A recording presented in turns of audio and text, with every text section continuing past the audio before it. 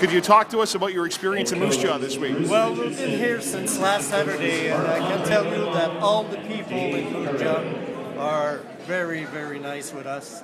Uh, I didn't have time much to visit the city yet, but we got people in our staff who's doing that, and every day putting a, that's what we call in French a capsule on the website of Major Triple A Hockey League, our website, and they're talking about the city, they're talking about the people, and what I heard from them is. Uh, like I'm telling you, the people are so nice with them, and uh, they like the city, and uh, everybody's talking to them.